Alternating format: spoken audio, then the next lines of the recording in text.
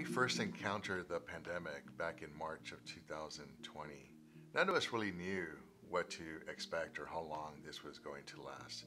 But we knew that we had to collaborate with our community. Throughout the pandemic, when it first started, just hearing about being off of school for two weeks, it really made a really big impact. When I first found out that I was that we were going online, I was scared because of the health situation outside. And then when we were online, we did have some struggles. Um, we didn't have the technology that we needed to meet with our teachers, but the district was able to provide us with Chromebooks. I'm really glad that the district has been able to follow like guidelines and put the things in place so we can go back on campus. When COVID had happened at first, I was really scared. Fireball helped us by providing Chromebooks, even Wi-Fi boxes, which really helped teachers helped us a lot and it was really important to them. So I would like to thank Lynwood Unified District for just being a great district and school and helping us through this tough time. As a district, we learned firsthand about the housing insecurity, the food insecurity,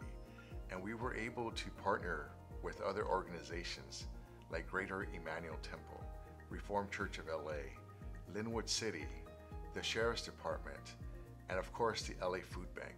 And we quickly opened up a food pantry that became available to our community every week. When we learned about the lack of testing, we reached out to our local elected officials. Our board members reached out to make sure that we had these much needed resources here in the Lynwood community.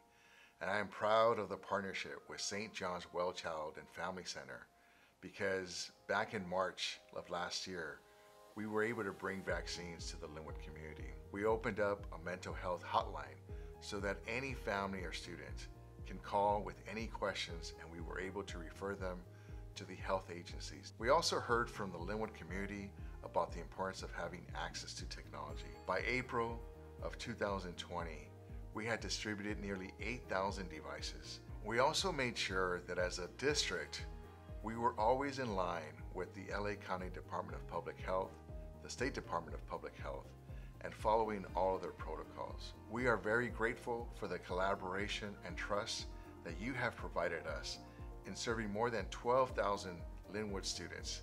I am extremely proud of all of our staff for everything that they have done to support our Lynwood students, families, and each other. The challenges that we faced as soon as the pandemic started, it was very difficult because it was something new for the students. However, they learned a lot of technology. I personally developed this um, homework book where the students had everything in one place.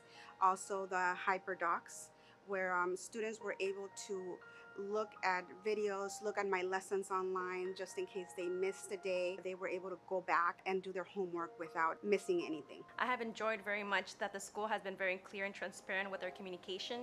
The interim principal that we had here at Will Rogers gave us uh, videos of how it was in the classroom. We, we, couldn't come to the school to actually see it during open house, but they had lots of pictures of all the teachers and the campus, so that was really great. I'm very happy with everything going on here at Lynwood Unified. Students during the COVID pandemic have, you know, gone through various stages of emotional health, and so we have resources that have helped students come out of the slump, um, help them to become an encouragement even to others. So our district has been very helpful as well with our students. A lot of the times that students weren't able to have a computer at home or didn't have the means to have a computer, the district has provided laptops, provided Chromebooks, provided hotspots for students so that they wouldn't have an excuse not to do their assignments.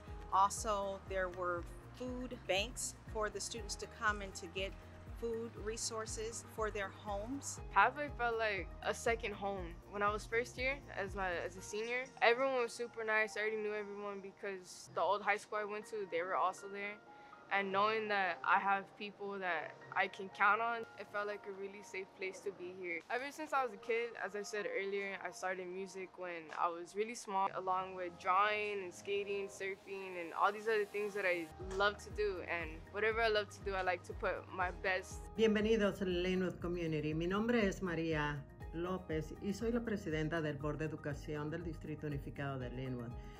Quiero decirles que estoy tan orgullosa de servir en el board y a nuestra comunidad, porque ustedes nos han ayudado mucho en toda la transición que hemos estado en esta pandemia. Ahora, que las escuelas han reabierto, estamos brindando la misma educación de alto nivel, pero creciendo para adaptarse a una variedad de necesidades. Continuaremos liderando con nuestro corazón mientras servimos a las familias en nuestro distrito con la misma pasión que ellos nos brindan. Gracias. For the 2021-22 school year, we are back to in-person instruction.